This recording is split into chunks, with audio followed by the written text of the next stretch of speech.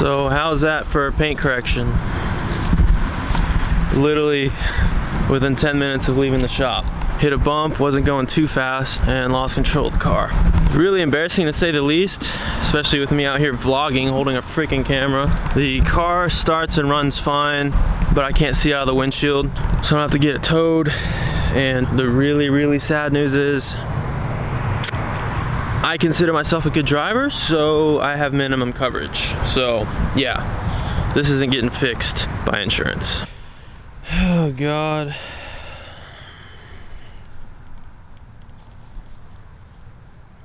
Man, this is a feeling.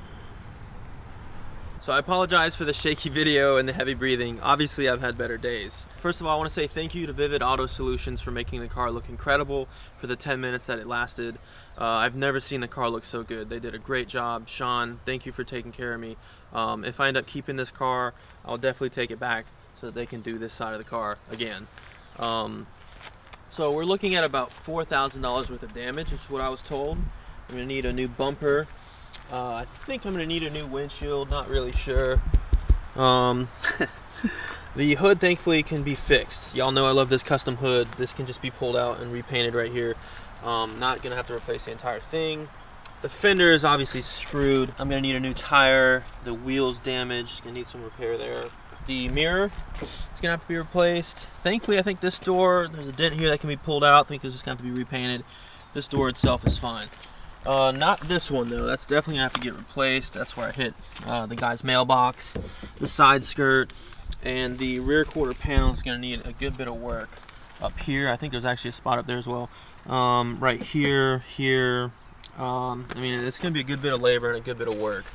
Um, especially considering that that $4,000 I told you was me buying used parts from eBay or Craigslist and having to get them repainted because I'm having trouble finding Interlagos blue. It's really unexpected and unfortunate. That's not how I wanted to end 2018 and definitely not how I wanted to start 2019. Um, this happened on December 7th and by the time you watch this video it's gonna be a while. Uh, just just no time to be doing this stuff.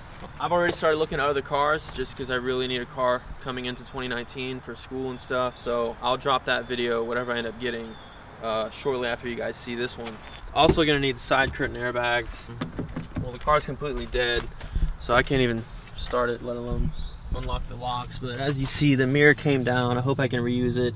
That pillar looks kind of messed up. I don't know if I'll have to need a new one of those, but I don't know. We'll see. Um, obviously, after the accident, the car kind of freaked out. A lot of lights on the dash. I'm hoping there's not a bunch of electrical issues and stuff if I end up getting it fixed. You know, I bought this car with 89,000 miles and now it's got 120,000. So unexpected expense and it's a lot for a car with this kind of mileage. So we'll see. I wish I could start it, but so what exactly happened? Well, I can tell you one thing is I really wasn't going all that fast. I was not in the mood to drive fast because it was wet out. I, I don't even like driving in the rain to begin with. Uh, it wasn't no road rage. I mean, I was completely relaxed. I was happy. I just picked up the car from getting its paint corrected and ceramic coated. Um, and there was a curve, and the curve had a bump in the middle of it, and I just didn't see it.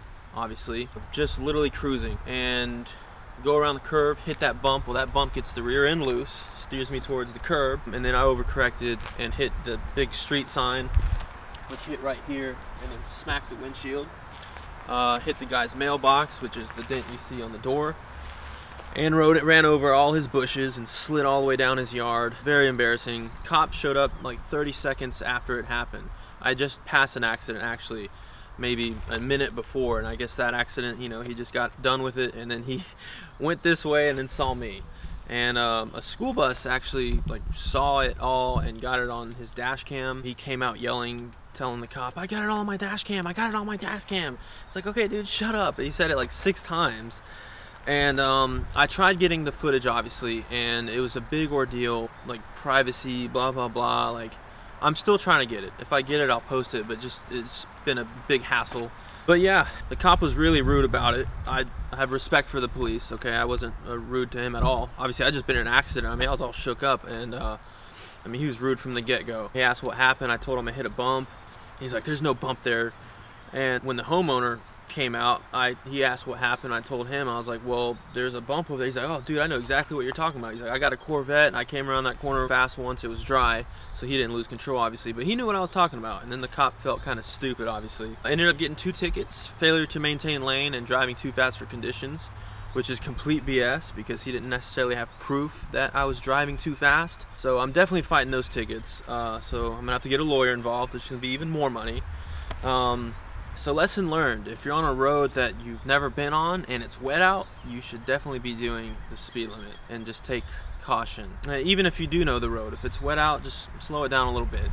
Because obviously all it took was me going a little bit over and uh, you just can't fight physics. You know, obviously I had traction control and stability control on. You know, I wouldn't be out driving really fast in the wet. I want to say thanks to those that checked up on me uh, after posting that Snapchat story.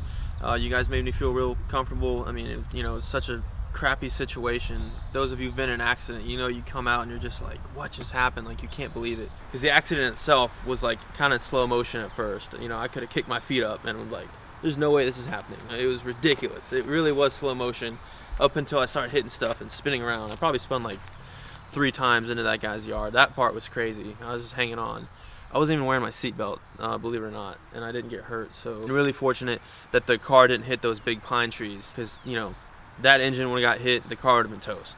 So again, yeah, thanks to those that checked up on me. Some of my friends laughed and didn't say anything. Those of you that did say something that shows good character and your real friends come out during the real situation. So I appreciate that. But yeah, it's uh, it's a lot of money and I just bought those headers for the car like a month before this accident.